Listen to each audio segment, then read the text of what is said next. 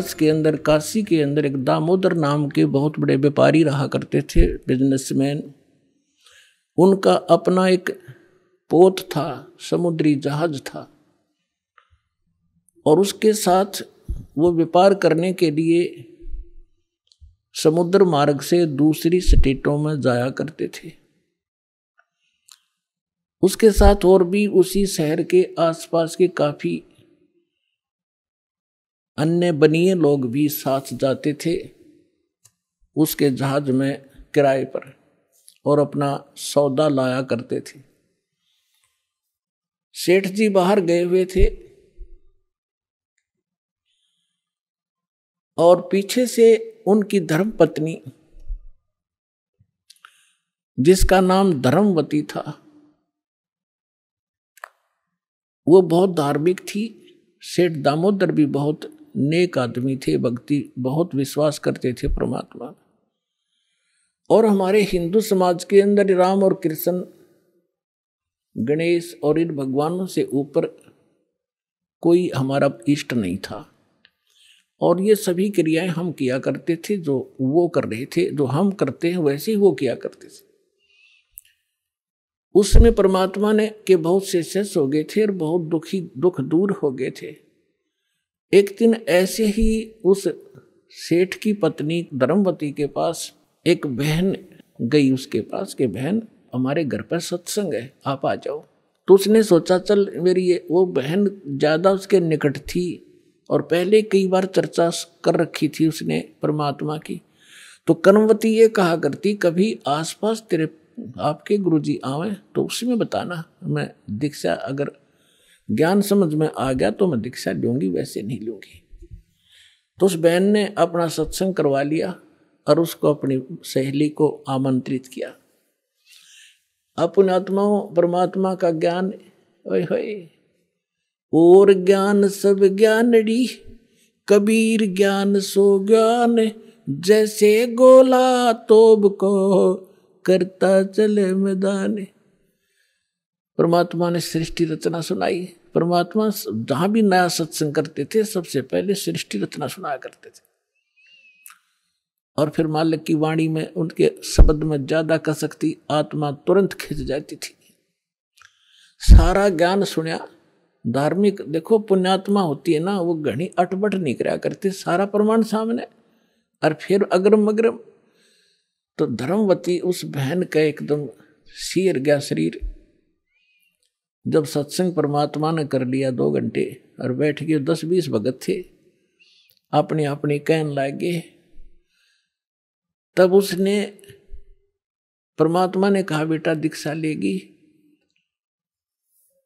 वो कहने लगी, महाराज, मेरी आत्मा तो मानना है, मैं दीक्षा लू आपकी। मैंने, मुझे ज्ञान पूर्ण रूप से समझ में आ गया। कुछ तो उस बहन ने कई बार सुना रखा था और फिर परमात्मा ने फिर उसको सही सुचारू कर दिया। पर भगवान है मेरा एक आठ एक समस्या है मेरे सामने। तो परमेश्वर कबीर जी ने कहा, बोल बेटा, क्या शंका है? वो बता मुझे कि यूँ क्या करें? यूँ सुना है मैंने कि जोड़े में नाम लेना चाहिए। मेरा पति गया हुआ प्रदेश में धन कमाने के लिए, और वो आ लेगा तब नाम लूँगी, लेकिन मैं, अब मुझे ऐसा लग रहा है कि मैं इस घर से बाहर कदम रखूँगी। आपकी झोंपड़ी इस स्थान तक कदे मेरी मृत्यु ना हो जाए आज मुझे आपके सत्संग से एक एक पल भारी हो गया कि जीवन नाश हो रहा मेरा। तो मैं नाम कैसे लूँ परमात्मा बोले, बेटा, ये भ्रम जो इन मूर्खों का पैदा किया हुआ है, तुम एक दिन जन्मे नहीं, एक दिन मृत्यु नहीं होगी।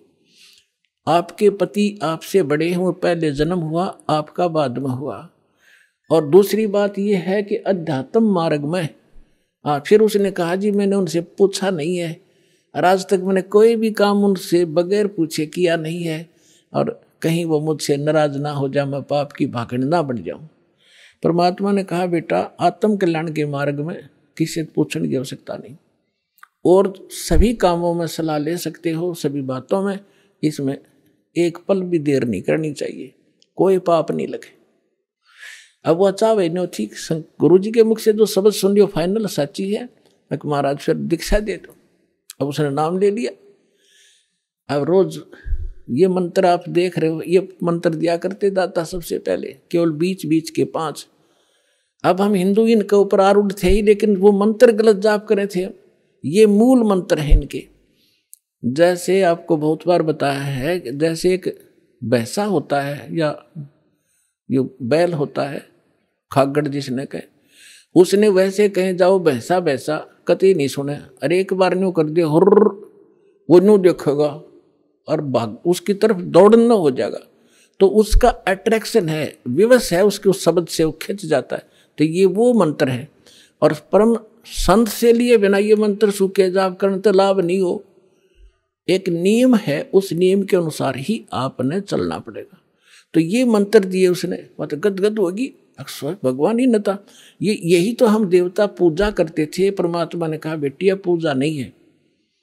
ये यहाँ के संरक्षक हैं और मूल पूजा तो सतगुरु की है। अब परमात्मा ने उस समय ये तत् और सत और सार, ये सार नाम ये छुपा कर रखना था। ये प्रथम मंत्र इसलिए दिया था कि इनके संसारिक काम सुलझ, सुलझे रहेंगे, इनको सुख होता रहेगा, इनकी भगवान में आस्था बनी रहेगी और इस मंत्र से इनका जन्म मनुष्य का होता रहेगा। इन आपको यहाँ तक लाना था, इस बिचली पीढ़ी तई धर्मदास मेरी लाख दोहाई, ये मूल ज्ञान और मूल मंत्र की बाहर ना जाए। मूल मंत्र, मूल ज्ञान बाहर जो पढ़ी बिचली पीढ़ी हंस नितर ही मूल ज्ञान तब तक छुपाई जब तक द्वादश पंथ ना मिट जाए। जब तक ये कलयुग पचपन सौ पाँच वाला समय नहीं आना था, तब तक इसको गुप्त रखना था। सभी महापुरुषों से परमात्मा ने प्रतिज्ञा दिला दी थी। तो इस मंत्र को पाकवा तो गद गद होगी, खूब डट कर वज़न करे, आत्मा बिल्कुल खुश होगी। जो भूत प्रेत की बात आई थी, थोड़ी बहुत सबके घर में बढ़ रहेंगे, वो भाग भूगे, उड़गी सी काया होगी। अब क्या हुआ? सेठ जी आए एक महीने के बाद में। अब वो बुद्धिमान बहुत थी, उसने सोचा कि मेरे पति को, यदि कोई थर्ड पर्सन न्यू बतावेगा कि तेरी पत्नी सत्संग में जाती है और रात को जाती है, क्योंकि परमात्मा अधिकतर रात को सत्संग करते थे, क्योंकि दिन में तो किसी को फुर्सत नहीं, छोड़ रखी काल ने धंधे में। तो इस, उसने सोचा कि ये कहीं इसके मन में मेरे प्रति कोई दोष ना आ जा और हमारा घर नरक बन जावे। अब क्या हुआ, जिस दिन वो सेठ वापस आया, उसी दिन सत्संग था भगवान का और किसी के आसपास ही। तो उसने सोचा कि अपने पति को मैं पहले बता दूँ सारी कहानी। और ये ऐसा व्यक्ति है, अगर मेरी बात को यो मान लेगा तो फिर ये किसी की नहीं सुनेगा। तो जब वो खाना खाने लगा, खाना खिला रहा खराते समय उसकी पत्नी ने कहा, जी, मेरे से गलती बन गई और मुझे अक्षमा करोगे? माफ़ करना। वो कहने लगा कि मैं अपनी पत्नी पर विश्वास करता हूँ, मेरी पत्नी ऐसी गलती नहीं कर सकती जो अक्षम्य ना हो। फिर भी बता अक जी, सचमुच माफ़ कर दोगे? गुस्सा तो नहीं होगे अक ना, तू बता। मैंने जी आपके पूछे बिना मैं ऐसे मेरी पड़ोसन नाम ले रखा है और उसके साथ में सत्संग में चली गई और परमात्मा की वाणी सुनी मैंने, मेरा दिल कर गया नाम लेने। और मैंने आपसे पूछे बिना दीक्षा ले ली। तो वो बोला, बड़ी अच्छी बात, इसमें क्या पूछना था? या कोई बुरा काम किया तने? भगवान की भक्ति की। बहुत अच्छी बात है। उसका उलगा सा हृदय हो गया। अके भगवान, बड़ी दया करी दाता। ये तो बिल्कुल सरल देसी बन गया। फिर उसने एक और पॉइंट सोचा कि एक बार इसको वो सत्संग सतल दिखा दूँ, जहाँ हम जाते और आते हैं। ताकि लोग इसको भ्रमित ना कर दें, तेरी पत्नी रात में भी जाती है तो यो आदमी का जल्दी सी सेट नहीं होया करे। और उस दिन सत्संग भी था तो उसने कहा, जी, ऐसा है गुरु जी का आज सत्संग है वहाँ पर। और मेरी साथ की सारी सहेली चली गई, मैं आपके भोजन पानी में लग गई और देर होगी और ना गई तो गुरु जी के दिन नाराज़ हो जा। आप मेरे साथ चल पड़ो। तो वो कहने लगा, देखो, मैं थका हुआ हूँ, दूर से आया हूँ, आप जाओ। और नो बोली, आप मैं जाऊँ कैसे? रात का काम कोई साथ नहीं मेरे? तो कहने लगा, मैं चल पड़ूँगा और जाते मुझे नींद आवेगी। बताओ, मैं क्या सत्संग सुनूँगा? उसने पता था कि एक बार यू चल पड़े और सत्संग सुन लिया तो आली नींद इसने। तो वो कहने लगी आप यूँ करियो, पीछे सी बैठ जियो, नींद आ जाए तो सो जाइए गुरु जी कुछ ना कहा करे। तो उसने सोचा, चल फिर तो कोई बात नहीं। वो दोनों पति पत्नी आ गए। अब बैठ गई पाछे ने, वो बैठ गया पीछे ने, भगतनी बैठ गई भगती, भगतमतियों में। परमात्मा ने वह सृष्टि रचना फिर सुनाई। वो तो जाने थे चोट ने सामने मारना। अब लाला जी ने किसी नींद आवे थी, उसका तो कलेजा फट गया थर थर का पैगात सारा। और नौके सोके सुने ज्ञान कड़ी कसूती तरह। अब सारा ज्ञान सुना के, सुन लिया जब अपनी उसकी पत्नी आई, जी, नींद तो नहीं आई? अगर नींद करे मेरे तो बेचैनी होगी। काहे की नींद आवे थी एक नो पूछ ले गुरु जी ते, मुझे नाम दे देंगे? तो उसने जाके कहा, महाराज जी, भगत जी आए हैं और यूँ कहे, दीक्षा मिल जाएगी?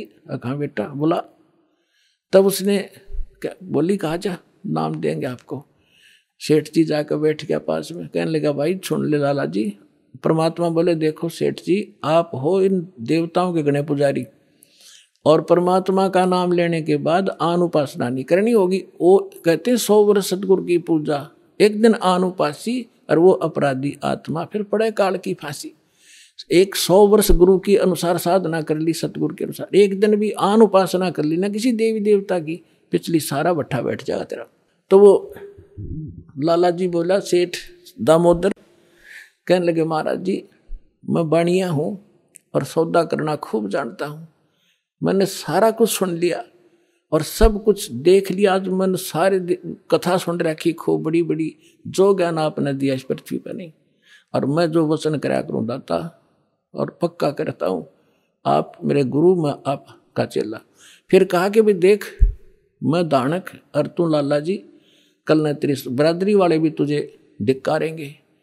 ने बोला, जी, मुझे नाम दो और आप साथ रहियो दास के, जो होगा सो देखी जाएगी, मुझे दीक्षा दो।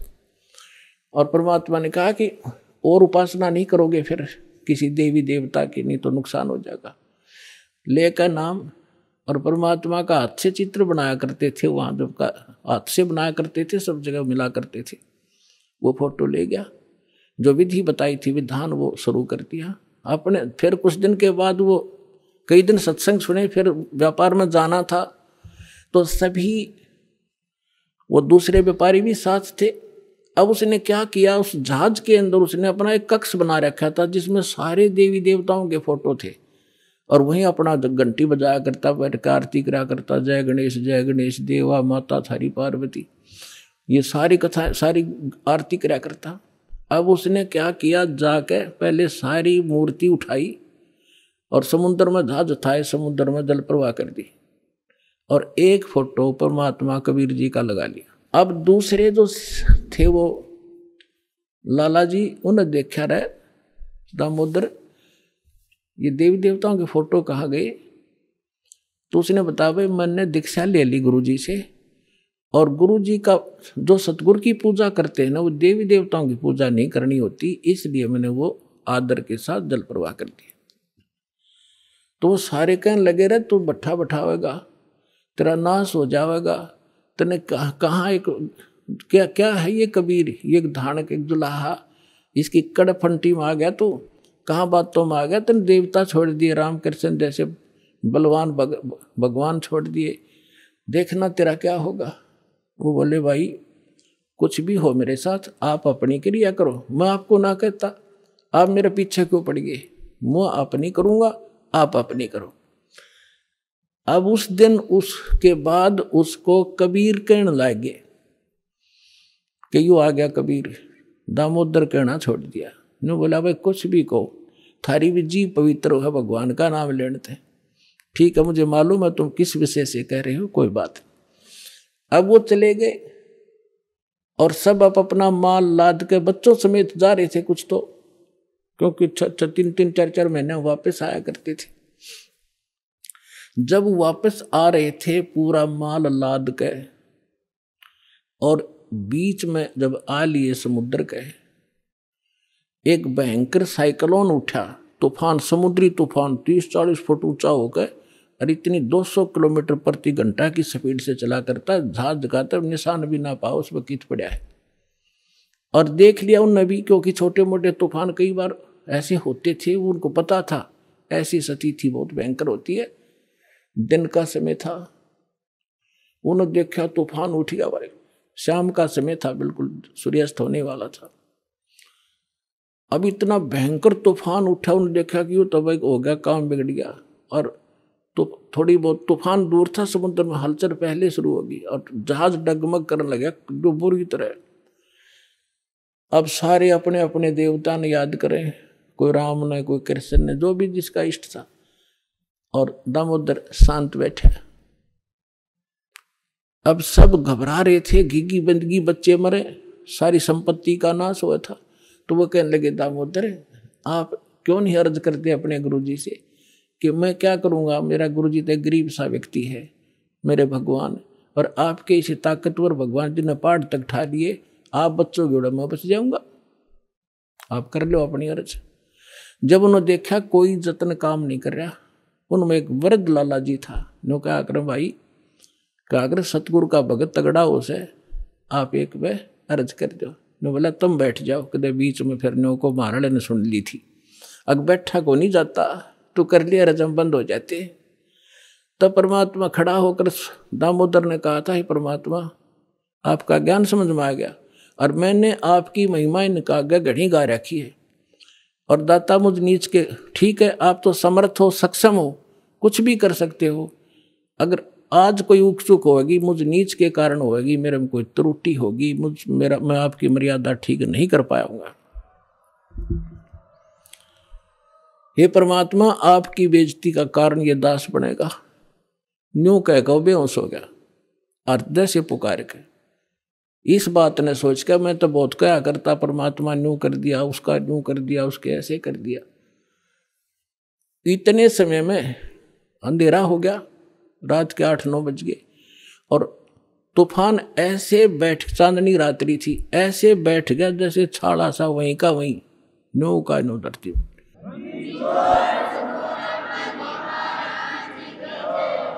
और समुद्र के जल में जरा सी भी हलचल नहीं। अब उस सम, दामोदर को पानी के छीटे छाटे मार के मुँह पे औंस में ले आए तब उन्होंने कहा कि भाई दामोदर, हमसे बड़ी घनी गलती हुई, हमने आपके गुरुदेव की बेजती करी। हम कति नीच प्राणी हैं। और उन्होंने संकल्प कराया था कि यदि आज जान बच गई, हमारे भगवान तो फेल हो लिए। जब आज इस तूफ़ान रुक गया हमारी जान बच गई, दामोदर, हम तेरे साथ चलाएँगे। नाम लेंगे उस परमात्मा का। तब दामोदर ने, दामोदर को कंधे पर बैठा लिया उन लालाओं ने। हर ने बोले, बोलो दामोदर की जय। ने बोला, नहीं, जय बोलो, जिसने यू काम कराया है। बोलो, कबीर परमेश्वर जी की जय हो।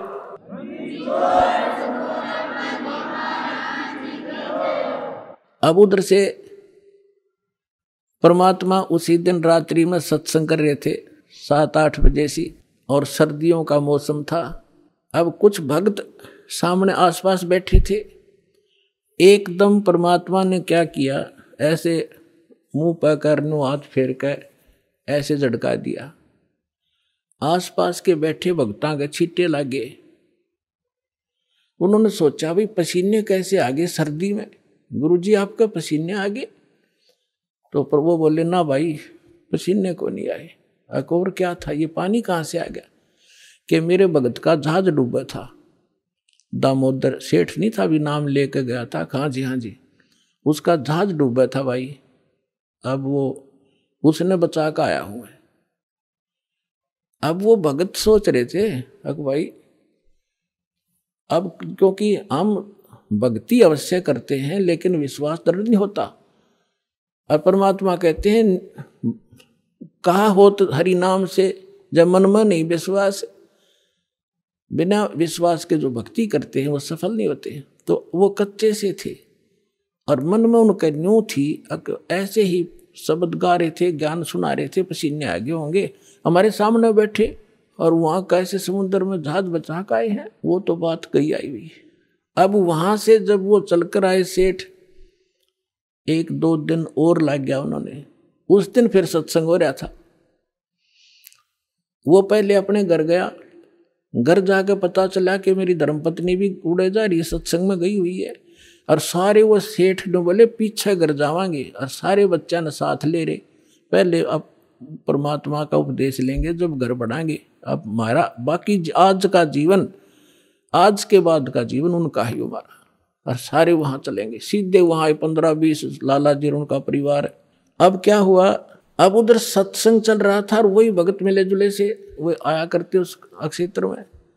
तो सारे वही बैठे। और पीछे तय क्या हुआ?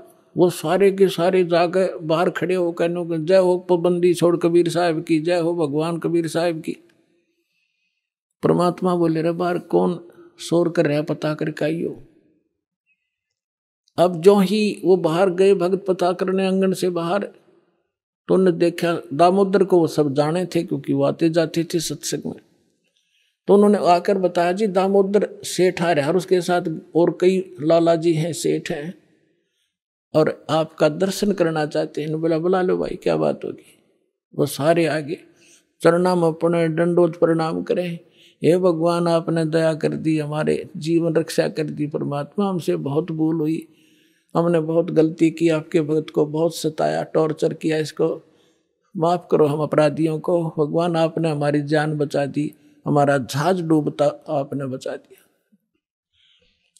परमात्मा बोले, क्या कह रहे हो भाई? और परमात्मा चाहो थे, जिनका मन में शंका थी, वो उनका भ्रम निवारण करने के लिए एक सच, बताओ सारी कहानी, क्या हुआ था कि भगवान ऐसे ऐसे हो गया था? हमने अपने सारे जंतर मंत्र कर लिए थे, कोई राहत नहीं मिली।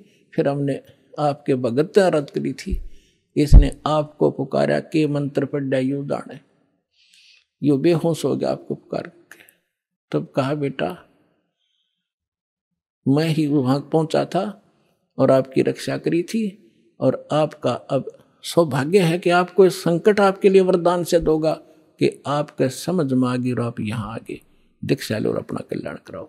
सभी ने नाम लिया, उनका कल्याण हुआ। बोलो, सतगुरुदेव।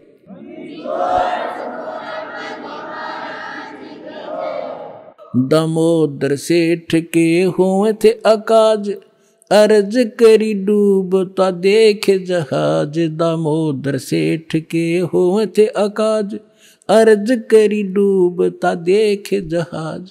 लाज मेरी रखियो गरीब नवाज़ समुद्र से, पार लंगाने वाले लाज मेरी रखियो गरीब नवाज़ समुद्र से, पार लंगाने वाले धन धन सतगुरु सत कबीर भक्त की, पेड़ मिटाने वाले सत सहे।